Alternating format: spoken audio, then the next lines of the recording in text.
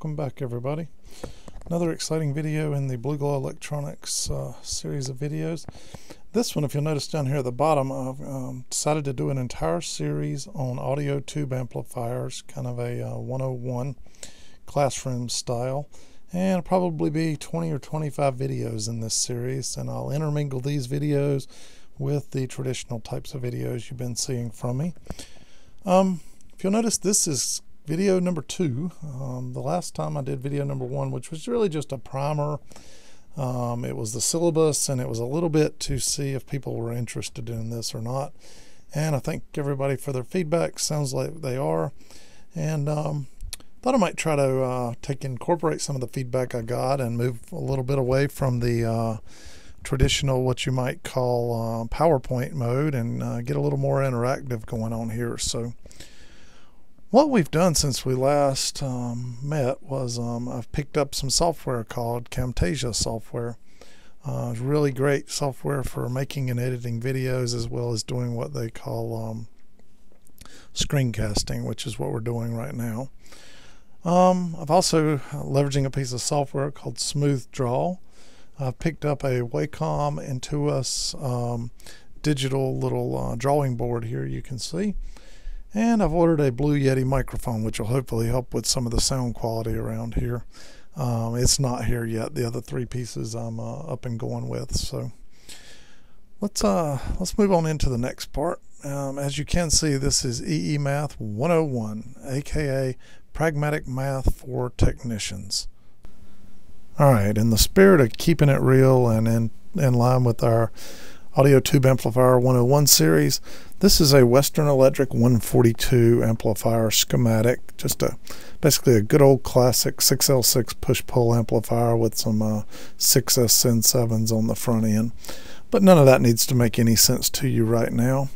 Um, if I told you that I was going to walk you through this schematic from left to right and tell you the purpose of every single little line and component that you see in here, if I told you I was going to teach you how to figure out what each one of these values on these components mean and why they are what they are, and how this amplifier works from one end to the other, that probably gets you excited. Um, I can tell you I'm not going to do that in today's class, but what I am going to do across this entire series of 25 videos or so is get you to a point that hopefully you can do that.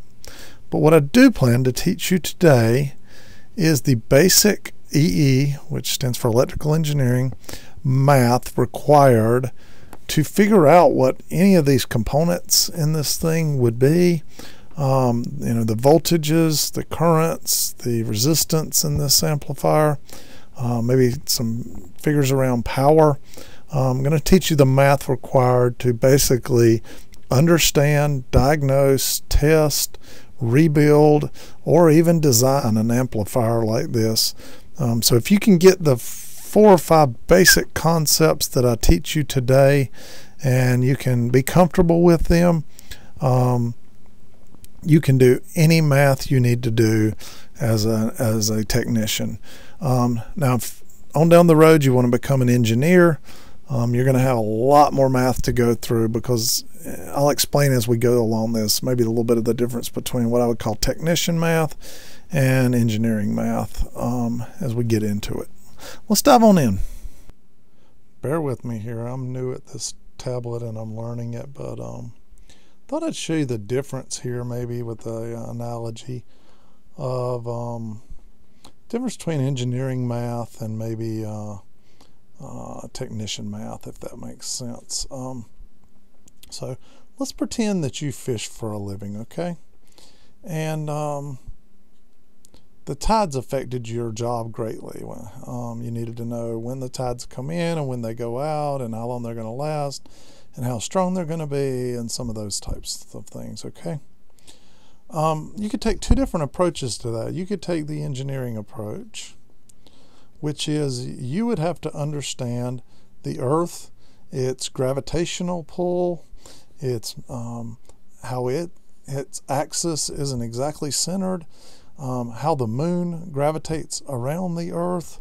Um, you would need to know a lot of things and how the how the moon's um, gravity affects our water tables, um, which ultimately affects the tides. and this would take you about three years of science at least, and you could then finally calculate um, when the tides are coming in and how strong and how long they're going to last or whatnot. Or you could be a technician fisherman and you could go to the local little store, pull up the newspaper, go online, and you could look at a uh, tide table, which is a chart. Um, and if you're okay with looking at a chart and saying, hey, it's 6 a.m. and the tide's coming in at this time and it's going out at this time and it'll be back in at uh, 7 o'clock p.m. tonight and go back out and this is high tide and low tide and etc.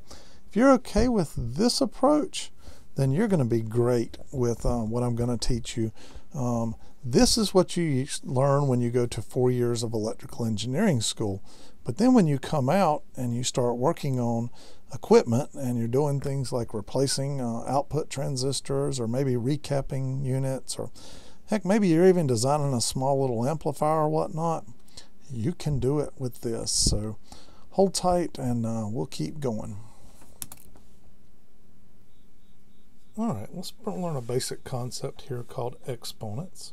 Um, really simple. Uh, it may look scary, but uh, you may have remembered doing something like this in school. But uh, when you have 2 with a little smaller 2 up top, sometimes known as the um, exponent, this one would be also maybe called 2 to the power of 2 or 2 with 2 with an exponent here of 2. But the answer, the way you get to that is you say 2 times 2 equals, and 2 times 2 equals 4.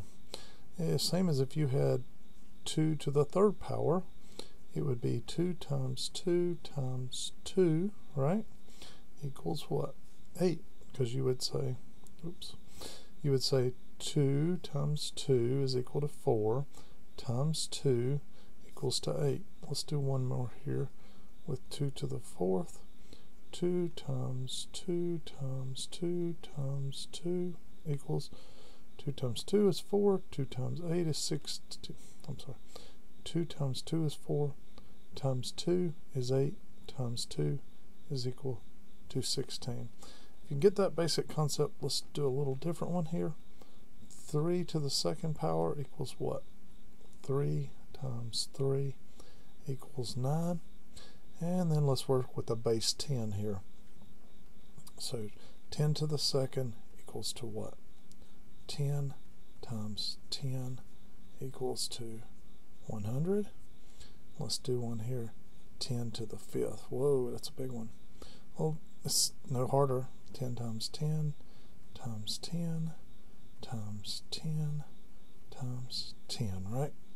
And if we do that here, 10 times 10 is 100, times 10 is 1000, times 10 is 10,000, times 10 is equal to 100,000.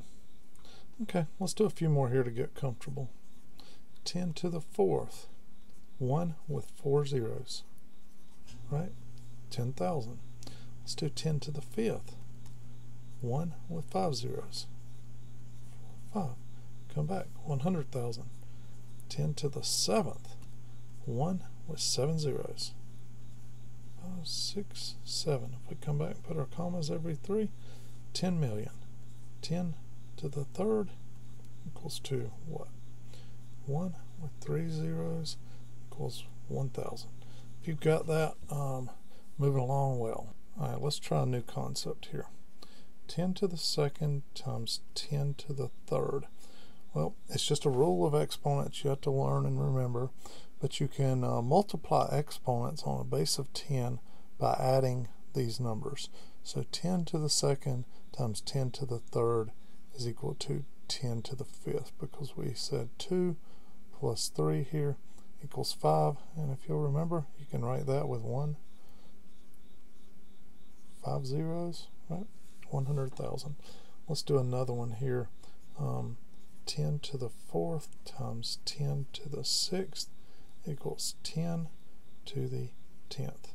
It was 4 plus 6 equals 10 here. Okay. Let's do one or two more here. Um, 10 to the 6th. Ooh, let's do something different here. Divided by 10 to the 3rd. Well, when you multiply, you add the exponents. When you divide, you subtract. So 6 minus 3 equals to 10 to the third. So 10 to the sixth divided by 10 to the third equals 10 to the third. Let's do one more here.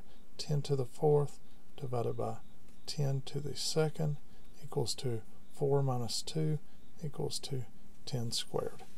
All right. Um, you may also see this written a little bit differently. You may see it written like this um, with the divide over top 10 to the fourth over 10 to the second and you simply know that you subtract those two and you end up with 10 to the second if that makes sense. Let's do one little tougher one over here in the corner maybe. 10 to the second times 10 to the minus fourth. Well, the same rule applies. You add them when you're multiplying.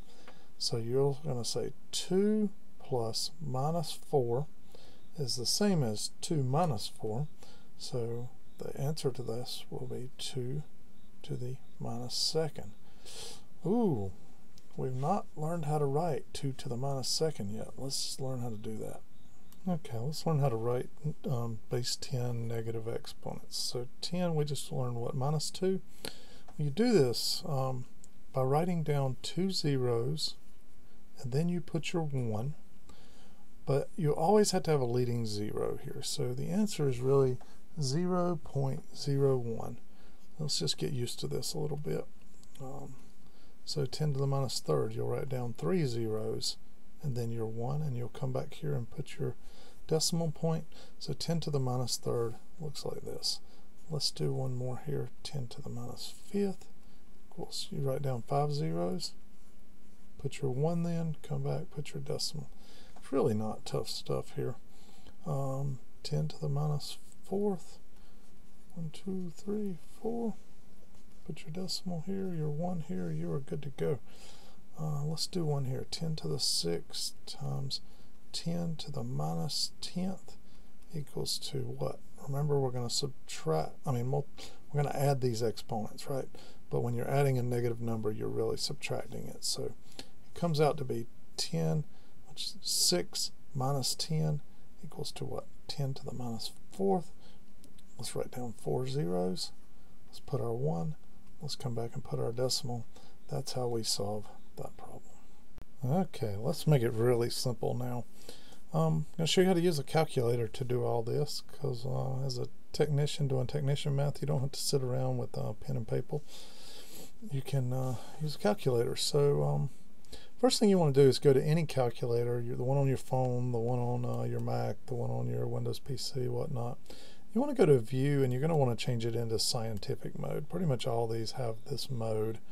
Um, and there's a key on here, and, and it looks like an X with a Y um, above it here, basically an exponent symbol. And you can use this key to solve problems. So let me show you how to do this. This first one here is what, uh, 10 to the 27th. Um, if you'll come back over here and look, you can say 10 and then push this button, X to the Y, type in 27, hit the equal sign, and you end up with a 10 or a 1 with 27 zeros after it. And I'm not going to write that down over here, but, but you get the gist of it. Let's solve the next one. 10 to the 13th. But if you'll notice, it's a negative 13. So you have to hit the 13 here, and then you have to hit this plus minus, which denotes the uh, minus 13 here. And then you get, you'll count them, there are 13 zeros here we put the 1, we come back, and we put the uh, decimal after the first zero, well, just like we did on paper. This next one here, let's see if we can solve this one. So we've got 10 to the third times 10 to the fourth. Well, if you'll remember, 10 to the third times 10 to the fourth is equal to 10 to the seventh, because we add the exponents. 10, um, little sign, 7 equals 10 with, that's a 1 with 7 zeros after it. Let's do this 10 to the minus 6. 10 xy 6 hit the minus sign equals 2 if you'll notice there are six zeros here and one so it's doing it for you um, similarly if you want to solve something like 4 to the 8th um, that's equal to 65,536 um, 3 to the fourth power equals to 81. And if you'll notice, there's another button here that'll automatically do cubes for you. So like 2 to the third power, it'll automatically do that. Or like one here, 3, and this x squared, so 3 squared equals 9. Um, but primarily use this little button here. Um, let's do one more. 2 to the fifth power equals to 32. Really simple to use your calculator to do everything we've been doing today. Okay, I've made a little chart here. Hopefully it's going to help out with a few things. Let's uh, see what we've got going here. Let's try something here like 10 to the third is equal to what? 1 with three zeros after it, right?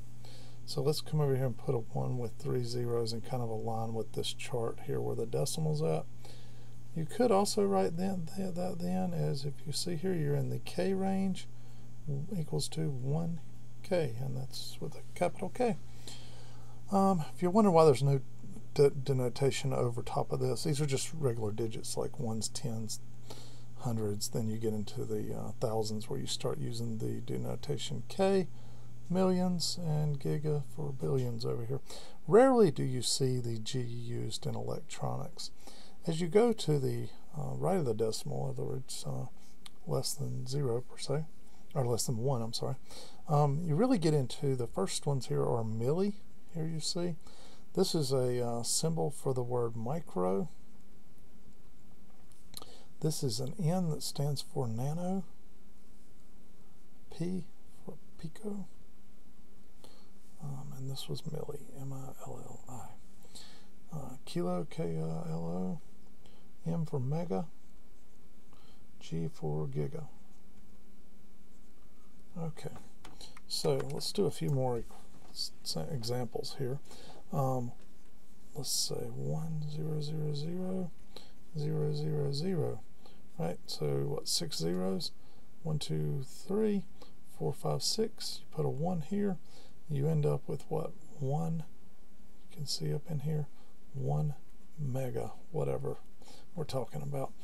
I will give you an example though. Typically when you're working this side, you're either dealing in uh, resistance, which is measured in ohms. We'll learn more about this later. Or maybe in henries, which when we're dealing with um, inductance. But we're not going to learn about that right now. Um, let's try one on the other side. Let's say we had 0.001, right? 0.001 equals to what? 1 little m, 1 milli equals to 1 milli. And in this case, if we're dealing with capacitance, they're typically measured in farads. That's how you measure capacitance, which is equal to a little f. So you put a little f here, 1 millifarad. So if you had a capacitor of 0.001, right, in size, it would be the same as saying, you know, if that was a farad, it would be the same as saying one millifarad. Um, let's go with a 10 microfarad. Well, how would we go figure out what that looks like? Well, since we know that would be 10 of these, right, microfarads, we would have a zero here, a zero, a zero, a zero point, you really discard any zeros to the right of the 1 there, so you end up with 0.00001 is, so if you had that number, it would be the same as 10 microfarads. Let's do a few more examples here. So if you had a number that was right here, you would simply know that is 100 nanofarads. Put your one, two, three point see why sometimes you wouldn't really want that size of capacitor and you couldn't write that on the size of a little bitty component maybe about that big in size couldn't put all those letters on there. But a little bitty component this size you probably could get a 100 nanofarad written onto the side of that little bitty component. So that's why we use these abbreviations. It gets even worse down here. If you had a one picofarad device you know that's pretty small. You could write that on the device. But um, if, you, if you had to do picofarad one two three one two one that would be how you would write out one picofarad if You'll notice here we're also dealing with, uh, could write that uh, 10 to the minus 12, but we've kind of moved on beyond that at this point, and we're starting to use some practical stuff here. Okay, let's talk a little bit of real world scenario here. Let's say you're working on something and you look up in a schematic and the uh, parts list and it says you need a 4700 nanofarad um, capacitor. And you go online and you search on websites and you can't find any 4700 nanofarad capacitors. So you realize that a 4700 nano capacitor, right, would actually be written um, like this, right? With the decimal in front of it. But what would that be the same as, right? It would be the same as a 4.7 microfarad instead of a 4700 nanofarad you basically just move the decimal to the left three places. So 4.7 microfarad capacitor, right, is the same as a 4700 nanofarad um, because we come one, two, three, and then it becomes 4.7 nanofarad, or microfarad. This device you may be able to find online and actually purchase. I'm not sure why different people do that, but a lot of times you'll see list parts listed in a format because somebody did the math and came up and said, "Oh, you, you need 4,700 um, nanofarads for that to work properly in the circuit." But what they didn't do was make it practical um, into something that you could actually order and buy a component in that size. So let's do one more example of this really quick here. Okay, let's say you look up online and something says you need a 10,000 K resistor, which isn't all that common. You would see that, but you're going, wow, 10,000 K, right? So um, 1K would be right here, 10K would be here, 100K would be here, 1000K would be here. So a 10,000 K resistor would look something like that. Then you would start saying, well, wow, I can't buy a 10,000K resistor, can't find any of those online. But what you realize is you're really talking about 10 mega. So that's equal to 10 mega ohm resistor. And that you can find online and that you can buy. Let's try one more here. Um, let's say you found one that said uh, 1000 microfarad, right? um, which would be the same as, let's see, um, 1,000 microfarads, right? Or what does that also equal? It equals to 1, right? Millifarad. 1 millifarad. This you may be able to buy, this you may not. Um, just good example of how you have to learn to move to the left and right of the decimal three three times to get the values you're looking for. Anytime you're dealing with um, something you see more than a thousand in the uh, in the uh, device um, size, then you know you can just move the decimal three places and uh, end up one, two, three here in this case, and you ended up with the 0.1 per se. Um, really simple stuff once you get the hang of it, and uh, we'll kind of take it from there into the next section where we're going to make this much simpler because I'm going to show you how to use some tables and you won't even have to do this math and moving of the left to right that I've been showing here. Okay, just in case you're having trouble with some of the math or whatnot, I'm telling you, you really don't have to be able to do it. You just got to be able to understand it. Here's another great one. Let's just say we typed in 680 and let's say it was the measurement we got was in picofarads actually let's make it 600 6800 picofarads you read online you were needing to buy something um, and uh, it said you needed 680 6800 picofarad device and you really don't have a 6800 pico and forget about the farad part it could be something else too. That that's a measurement for capacitance. We'll be learning that in the next set of videos. But but you could say convert and it'll come back and give you an answer of saying hey this 6800 um, picofarad is also equal to 6.8 nanofarad. So you can see right here, um, really simply, which, you know, if you were looking up capacitors to buy, you could go say, oh, I just need some so 6.8 nanofarad if I can't find the 6800 picofarad because they're the exact same thing. And you can see down here below they have a nice chart and a nice printer friendly version of it. You can put this up on your wall and help you convert all these values. This is what I'm talking about when I'm talking about technician math. You really don't have to understand what's behind it. You just have to kind of get the concepts. And then uh, there's all these charts on the web that'll help you figure everything out. There's all kinds of tools out there, just like this little tool right here that helps you convert. You, you really don't have to be a math expert to be a great technician, if that makes sense. Okay, one last super quick thing. You notice we've been writing like 10 to the third or uh, 10 to the minus sixth. Another way you may see this written um, is like this 10 with a little caret symbol to the third or um, 10 with a little caret symbol to the minus 6.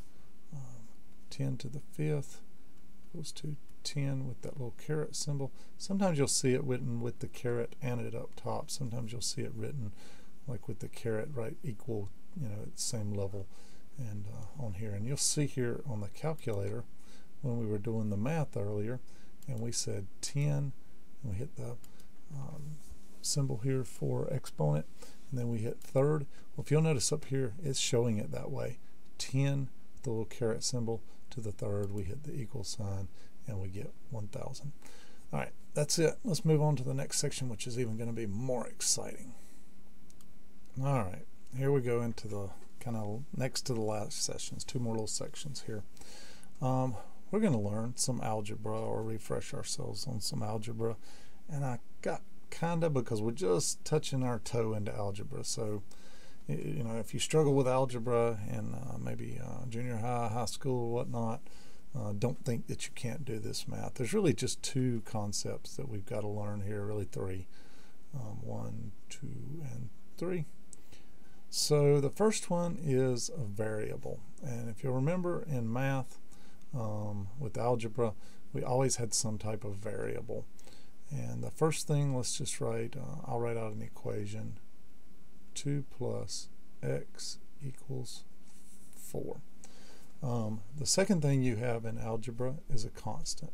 So in this equation you have two constants right here, 2 and 4. And they're constants because you know what they are. Um, in this equation you have one variable. Okay, so the one variable here is x, and x is what we're trying to solve for in this equation. Um, and then the other concept you need to know in, for algebra for what we're doing is that everything on the left hand side of the equal sign equals the stuff on the right hand side. So this equals this. Um, so let's try to figure that out. 2 plus what equals 4? Well, that's not too hard to figure out. You can say 2 plus 2 in your head equals 4, right? Um, if you can get that concept down, you pretty much got it whooped at this point. I'm going to do just a little bit more algebra. The good news is um, you don't even really have to master this because much like those charts and whatnot earlier, I'm going to show you some simple ways to work around this. So, But let's just do a, a couple more, right? 6 times, uh, let's just say y equals 24. If you, if you remember back in real algebra, the way this worked was you're trying to get rid of this 6 times here. Um, and you're trying to move it to the other side of the equation so you only have your variable on one side of the equal sign. So how do you get rid of 6 times? Well, you do a divide by 6, right? And the same thing over here, 24 um, divided by 6 equals what? 4. If you come back over here, 6 times 6 times 4 equals 24. Um, so really, the way you do this is you kind of we cancel these things out by moving it to the other side of the equation. Let's do another one. 2 plus x equals 5. Well, because this is 2 plus, we're going to get rid of it by saying 2 minus, right? So 2 minus on this side, these will cancel out, equals to 5 minus 2 on this side. So then x is equal, x here is equal to 5 minus 2, which is equal to 3. And if you'll remember then, 2 plus 2 plus 3 equals to 5. So we solved for the variable x here by moving everything else here to the other side of the equation over here, leaving just x on this side, and then doing the math over here to get to that. If I've lost you in this section right here, um, don't worry about it. I'm going to show you it. It gets even simpler. And if you were able to follow this along, at least you get the concepts of moving things um, from one side of the equal sign on an equation over here um, that's not part of the variable. So y plus some variable um, you know, say 6, y plus 6 equals 12, right?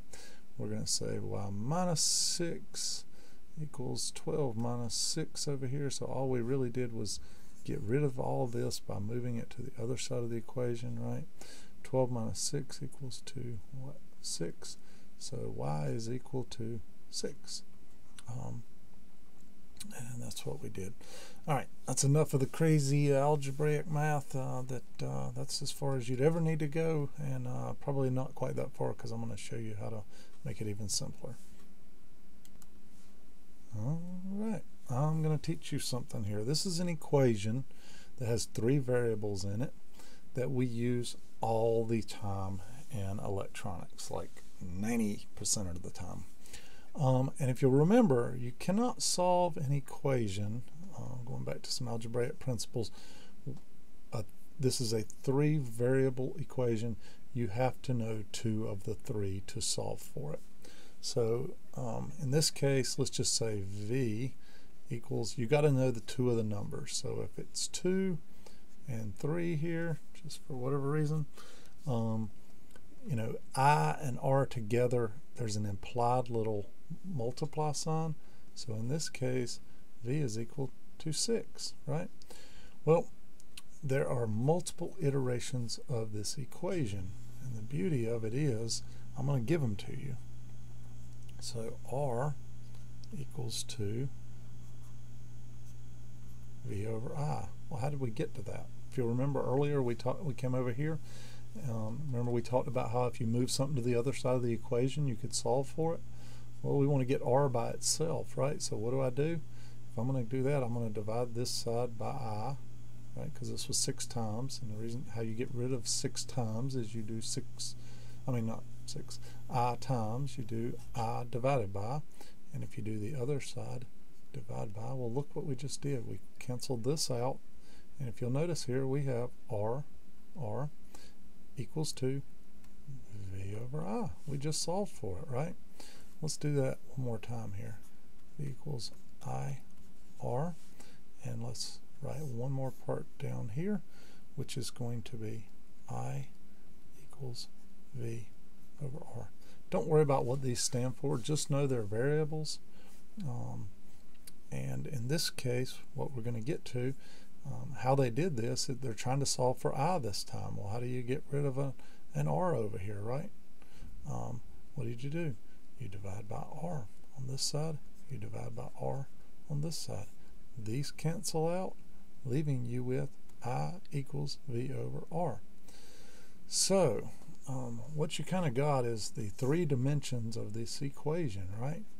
V equals I times R, right? R equals V over I, right? And we said I equals to V over r. So by giving you this, I've already done all the algebra for you. And you can write these down. We're going to show you some charts here shortly in the next session. Um, but this, these three equations right here, which if you'll notice are just simple multiplications, i times r, it's v divided by i here, and then v divided by r here, right? Okay, let's make this thing real world here. If you'll remember, um, we gave you the equations up here earlier, and, um, and, because you can write those down or have them stuck on a post-it note at your monitor or whatever, you really don't even have to memorize them, although You will use these enough in electronics to they'll be worthy of memorizing some. But let's play out a couple scenarios here. Let's play out something where we know R and we know I, um, but we don't know V. And so what are we trying to solve for? V equals to, oh yeah, let's go back to our equation. What? I times R. I is what? 6 here times R here, which is 2, right? Equals to 12. So in our case, V is equal to 12. Simple stuff. Um, this one here, V is 12, I is 3. Hmm, what do we not know? We don't know the R because we've got two constants here, right? So if we come over here on this, R is equal to V over I. So R equals V over I. Well, what is V? V is here, let's see, 12 divided by 3, right? Forget about this. Equals to 12 divided by 3. You can do that with a calculator. 4, right? R is equal to 4 in this case. Similar scenario down here. This time we know V, we know R, but we do not know what. What's missing? We don't know I, right? So in this case, we got to do a little bit of math. I is equal to V over R, right? Which is the same as I is equal to, in this case, V 120 divided by R here, which is 10, which, by the way, I is equal to 10, right? I have just taught you 90% of the math you will ever do electronics. And in the next section, you're going to learn exactly how we apply this. I'll give you a little bit of hint here in this one. Um, if we pretend that V was voltage and I was current and R was resistance, which we've got some some learning to do to, to know what those all mean.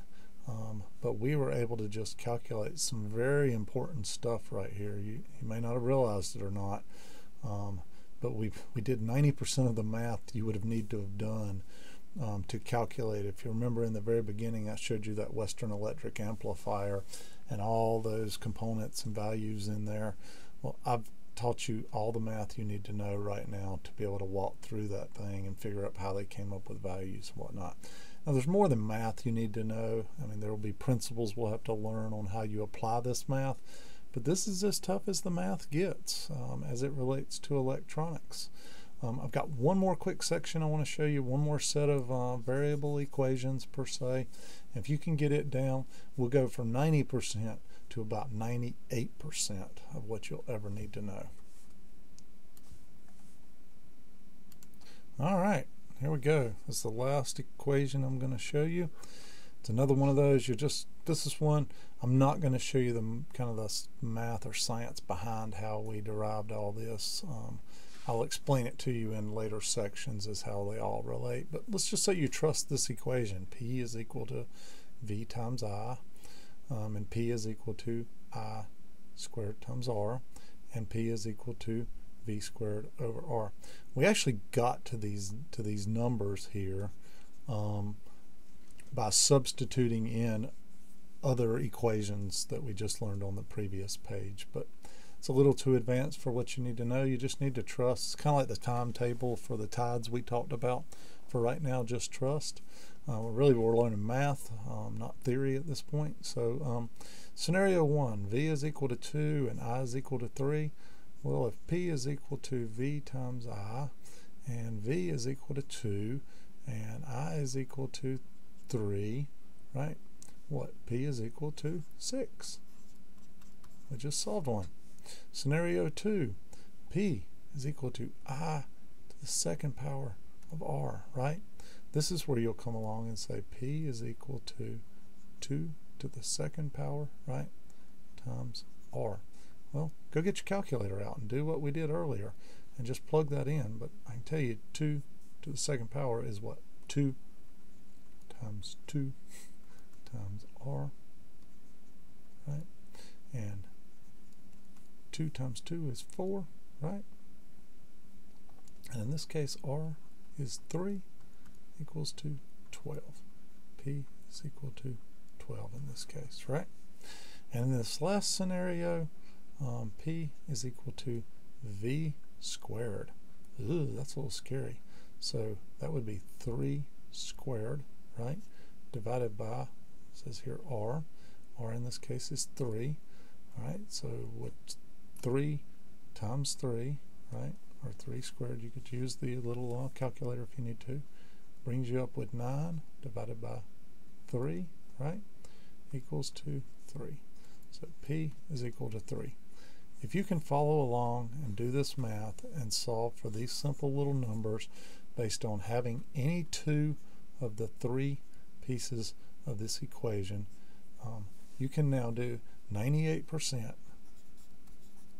of all the math you will ever need to do to in electronics to be a great technician, to even design an amplifier, um, lots of other things. Um, so let's hang with that. And uh, if, if you've hung to this point, um, great. If you haven't, shoot me questions out there, or there are lots of other YouTube videos out there on some of this math. I'm just trying to make it a little bit practical. Uh, the last thing I want to do here in this session is show you an example or two of some of how some of this stuff plays out.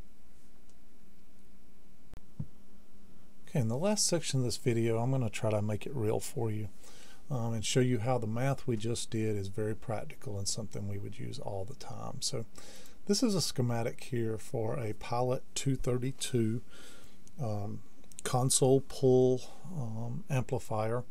Um, it runs uh, EL84 output tubes, otherwise known as 6BQ5s. Great little amp. Um, they're amazing sounding, and uh, lots of people have sought these things out over the years. Any rate, what I want to show you here was that um, it, you don't have to understand the electronics at this point. You don't have to understand even what a schematic is. Um, you don't have to understand what volts, current, um, resistance is at this point. I just want to show you that the math uh, we just used is very relevant. So one of the things you do with a tube amplifier is you want to bias the output tubes here. In other words, set the operating parameters around these tubes. Um, determine how hot they might run or how cool they may run, um, things of that nature. So if you'll notice that the cathodes here, um, there and here, are tied together with this little line. They come together from here and here and they come down and they go through this resistor here. And if you'll notice it's a 120 ohm resistor. You don't even have to know what an ohm is at this point. Just know we're dealing with 120 and it goes to ground. And since this is a resistor we'll just call this our R um, the other thing I would note is that you've got two tubes um, flowing through this one resistor and we'll, we'll talk about that a little bit later but um, if you'll notice when we jump over to the amplifier, I've actually changed mine to 150 ohm from the 120 ohm. The reason I've done that is these amps um, historically run fairly hot. Um, the tubes get really hot, the amp runs really hot. Sounds great, puts out you know as much power as it can that way. Um, the challenge is, you know, the tubes don't last as long or whatnot. So I've actually changed this to 150 ohm in my amplifier um, as part of biasing, and I did the math on that. And it was in it was in an effort to uh, cool this thing down a little bit. So let's go over and kick it old school, get back to some video like we normally do here, and uh, you'll see what I'm talking about. Alright, welcome back to some old school video. Check it out. iPod's playing. This thing's a uh, little amplifier here sounding great. Um, just so you know I'm working with something that functional works and not some theoretical setup I made here. But you can see here this is a Pilot, manufactured by Pilot Radio, Model 232 amplifier here. This is one um, I've been working on a little bit. But um, if you get back here to the output transistors like we talked about earlier, and um, if, you if you can see it here on top of this resistor right here, it'll tell you that it is 150 ohm See the number 150 ohm on it.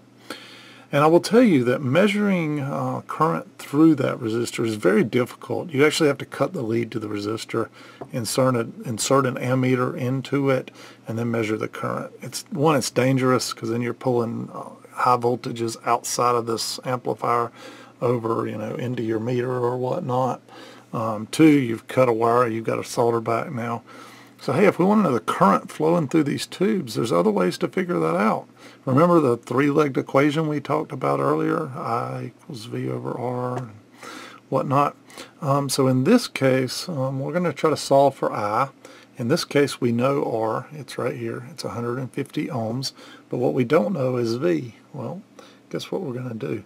We have connected across this resistor, um, which happens to be R in this case. just a set of probes. And we've came over here on just a plain old multimeter and we've gone to volts DC, right? And what do we have here? 12.22 volts, right? So uh, let's let's take a look at one more thing before we go back to the uh, classroom over there. Um, this is the RCA manual. Um, that uh, it's a receiving tube manual that I've shown you many times before. Um, and in it lists the EL84 6BQ5. Um, but if you kind of read down through this thing um, and all the specs about it, whatnot, at some point you're going to get into maximum ratings here, right? And you're going to read cathode current, and the maximum you're ever going to want to run this thing at is 65 milliamps, right? So uh, let's jump back over there to the other video and uh, we'll, we'll see what's going on. Okay, let's just apply what we just learned over there um, here in this video. So, we know that uh, we knew two things, right? What did we measure when we went and measured? We measured voltage was equal to what? 12.22 volts. And we measured also that resistance was equal to 150 ohms. I'll tell you what, for this stuff, let's not even worry about what those are, right? We're just learning the math at this point. So if we know two of these, we know we know V and we know R, which one of these three equations would we use? Well, guess what? It's this one, because we know V and we know R, and we're trying to solve for I. So I, in this case, would equal to 12.22 divided by 150. And if we bring up our handy dandy calculator over here, 12.22 divided by 150, we're going to get this 0.8146666, whatever. Um, if let me show you something here real quick. If you'll notice, that means that equals to what? What do we have here? Um, 0.0814 was what the calculator gave us. Um, well, if you'll notice, that's measured in, let's just call it amps. Um, but if we move the number 1, 2, 3, remember 10 to the minus 3, then we could also call this 81.4 milli. And in this case, it happens to be measured in amps. Um, but since we're not worried about that, that we could straighten that out. 81.4 milli. Um, so, and then if you'll remember, there were two tubes flowing through that one resistor, so the current from both of them. So ultimately we end up having to divide that in half to get the current through each tube at that point. And what we come up here is 40.7 milliamps through each of those tubes. And if you'll remember back in the specs that we looked at, um, 65 um, milliamps was the um, the maximum that they wanted to see. Um, so let's let's do one more thing here real quick. If you'll remember, I had originally showed you on the schematic that this thing um, had a 120 ohm resistor in it instead of the 150 ohm resistor here that I ended up putting in this thing. So if you did the math on that real quick, um, and I won't pull the calculator up, but it comes out to basically be 101.8 8 um, milliamps at that point in time, right? 8.3 actually. And if you divide that by 2, right, you end up with 50.92 milliamps. Um, so if you'll notice, the original resistor that was in this thing had this tube pulling much more current than after I increased the resistance and dropped in the 150 ohm, it lowered the amount of current flowing through that tube, ultimately cooling it down. Now, at the same time it cooled it down, it also lowered the output power that this thing produces. So uh, not quite as uh, strong or um, level of amplification amplification going on in this thing. But uh, you can real quickly learn that we use this math right here in a very complex thing that I would say 90% of people that own a tube amplifier wouldn't have no idea about or what these numbers really meant or how to calculate them or how to tell if you had too much current flowing through your tubes or not enough etc etc so I hope you've learned something here today. I hope that uh, you know this math doesn't seem overwhelming and uh, it's one of those things you practice it you use it a little bit and uh, the more and more you go on the easier it gets. But um, hopefully we may, brought you a real world example here. Let me show you one more real quick real world example. Alright here's a very practical example and this is about the best my drawing gets. Remember you guys hired an engineer to teach you uh, electronics. You did not hire an artist so um, but this is supposed to be a light bulb and if you'll notice up here at the top it's labeled 60 watts. So a 60 watt light bulb and it's glowing bright and working well. So um, if you'll remember earlier we, we had a we had a few equations right? One was equal to P is equal to I times V. Well let's assume in this case this 60 watt light bulb is what the P is talking about. So uh, 60 watts is a measure of power. So in this case we know the power. Um, let's see, volts. Oh, we know that. So what's your what's your house uh, line that feeds your uh, electricity, right? Here in the U.S., it is 120 volts, right? Times I, right? But we don't know what I is, and that's what we're trying to solve for. And remember earlier in algebra, we said, hey, if we're trying to solve for something, we want to get this other stuff on the other side of the equation, right? So in this case, what we're going to do is here we have 120 times. So what are we going to want to do? We're going to want to divide this side by 120, right? And we're going to do the same over here on the other side, 120. And these will cancel out. And then I is equal to 60 divided by 120. So I is going to equal to 0.5. And in this case, it is current. So that is going to be measured in amps. Another way to write this, if you use the uh, learn from the uh, moving to the three, three to the left, this would be also known as 500 milliamps. So we just figured out how much current flows through your light bulb in your house if you have a 60 watt light bulb. Um, hey, if you increase this light bulb to 120 watts, then it would be, I mean 120 um, watt power, then it would be 120 divided by 120 equals 1 or 1 amp. Um, so a 120 watt bulb will use twice as much current, pull twice as much current, so a full amp instead of a half of an amp here. Guys and gals, I hope that uh, if you've learned something today, um, I will tell you that I've updated the syllabus uh, significantly and I'll show that to you at the beginning of the next video. I've added some stuff, I've rearranged and sorted in different orders that made more logical sense. Um, but what I will tell you is coming up next are some basic electronic principles. We're going to learn what volts are. Um, we're going to learn what resistance is. In other words, what are what are ohms. Um, we're going to learn what current is and uh, and how you represent it all in the next episode. So uh, stay tuned and uh, hope you enjoyed this new format. I'm learning. Uh, you know, it'll get better, I promise. But um, give me some feedback out here and let me know how things are going. Thanks again, everybody, and uh, keep watching.